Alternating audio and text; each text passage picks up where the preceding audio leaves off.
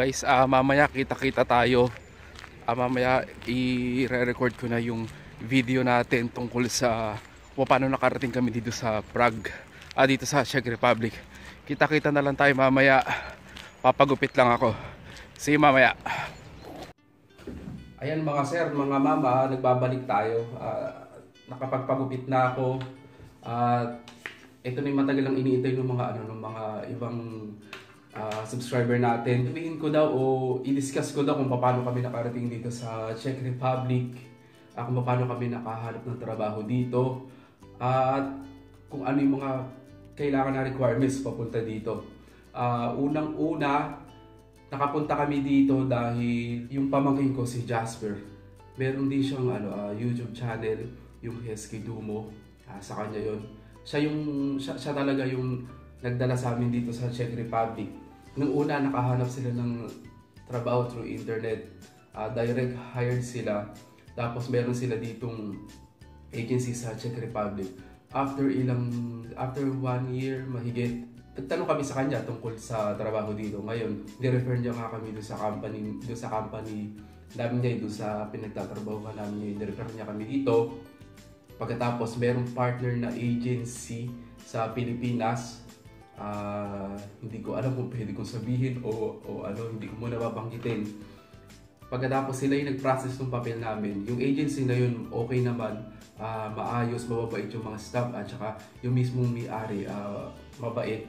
Wala silang kinolekta sa amin na kahit magkano yung processing fee lang talaga na katumbas yung isang buwang sweldo dito, yun lang hiningi sa amin.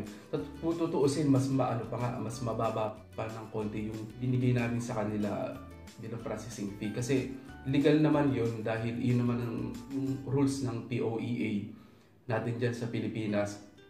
Kung magkano yung ibabayad nating processing fee o placement fee ba yun. Pero hindi yata placement placement fee yung tawag doon processing fee. Huwag kayong mag-alala legit yung agency. Kasi merong nag ano merong nagme-message sa akin yung mga nasa Pilipinas merong nasa Qatar merong nasa Saudi Shoutout nga pala dun sa mga Czech boys, iba nasa Qatar at yung, yung iba nasa Saudi. Maraming maraming salamat sa pag-subscribe. Sila yung nag, nagtanong sa akin, sila yung nagsuggest sa akin na i-vlog ko daw yung mga yung journey ko kung paano nakapunta dito at kung sino yung kumuha sa akin tsaka kung paano ako nag-process ng mga papeles.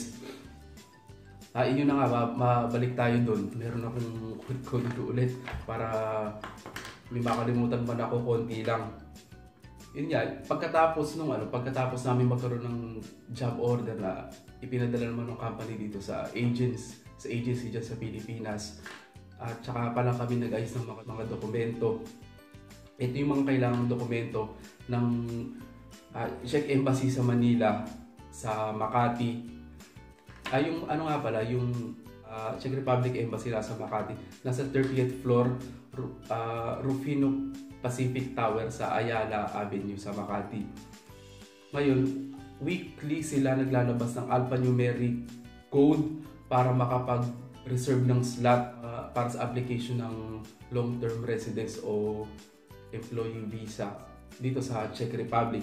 Ngayon, 10 slots lang ibinibigay nila. Kaya swertihan o unahan na lang para doon sa makakapagpa-reserve ng slot para makakuha ng visa. Ngayon, ang requirements ng embassy, syempre yung passport natin, original passport at mga photocopy, siguro mga tatlo para may reserva kayo.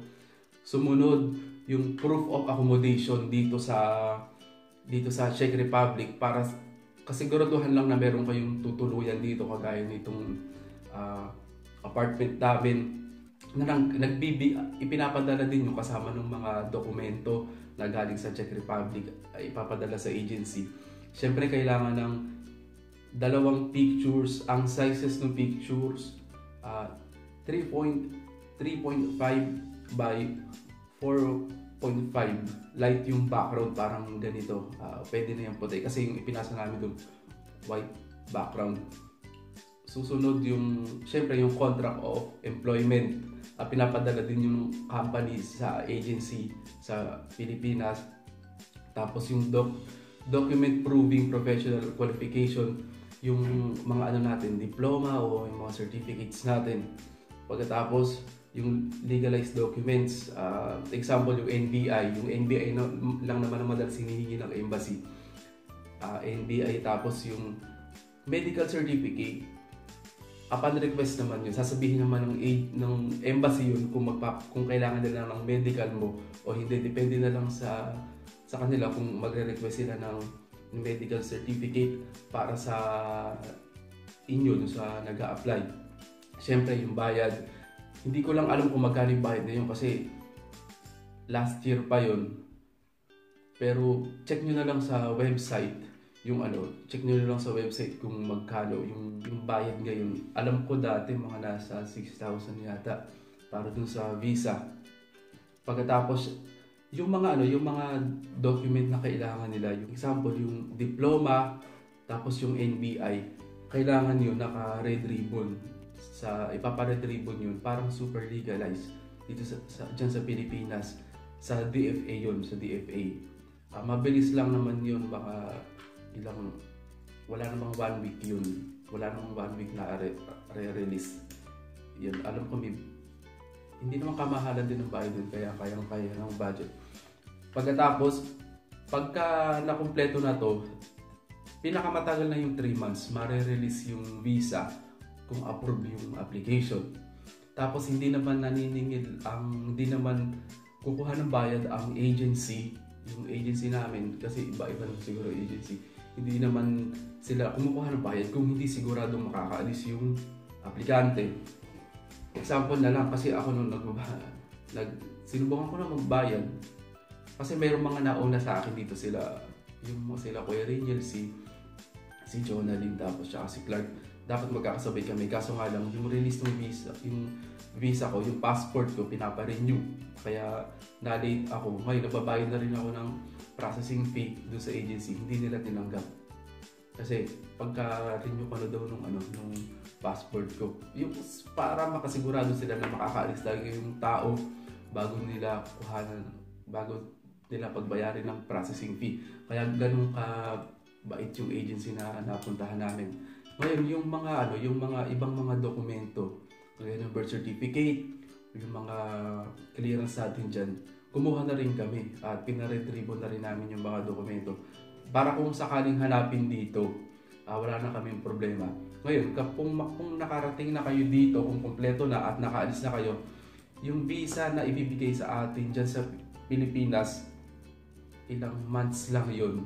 Kasi pagdating naman dito, tsaka a-applyan tayo ng panibagong bio, yung tinatawag nila dito ng biometric. Lahat ng re, lahat ng citizen dito, lahat ng mga tao dito at na-grant bigyan ng uh, residence visa kailangan kumuha ng card na card na yon yung biometric card nilang tinatawag uh, parang yun yung national ID nila Pagkatapos kapag ka meron na tayo nung katulad nung sa amin, ito yung ano, ito yung biometric card. Ayan, ayan yung biometric card. Kulay pink tsaka blue. Ngayon kapag ka meron ng ganito, ang nakalagay dito yung address, tapos long-term residence, ay yung residence card. Residence card pala tawag dito. Ayan, kapag ka meron na kayo nito, ito na yung pinaka-visa. Kahit hindi, dito sa Czech Republic, kahit hindi mo nadalhin yung password mo, basta meron ka nito, okay lang. Pero, example, pupunta ka sa katabing bansa nito, dito sa sakop ng European Union, kapag pupunta ka ng Germany, pag pupunta ka ng Netherlands, pag pupunta ka ng Austria, Poland, uh, Slovak Republic, ano pa ba yung mga katabi nito?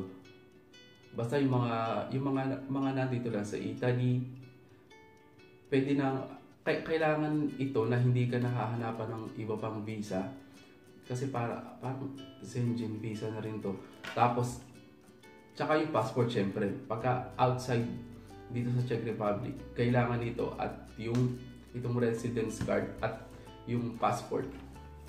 Ayun, passport. Kailangan kapag pag bakasyon, pwede kang mamasyal. Uh, kung gusto mo mamasyal, side dito sa Czech Republic, hindi ka na, hindi mo na kailangan kumuha pa ng ng visa papunta doon sa bansa na yun. Maliban na lang kung sa UK ka pupunta, kung pupunta ka ng Paris o London. Doon kailangan mo pa kumuha ng visa. Ngayon kapag ka nandito na naman, na-vlog ko na naman yung lifestyle ng mga tao dito.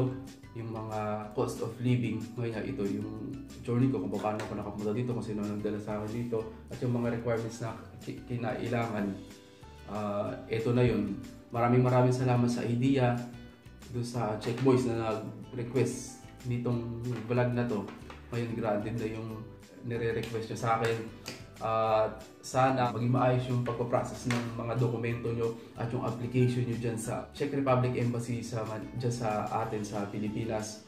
At good luck sa inyo. At magkita-kita na lang tayo dito sa Czech Republic.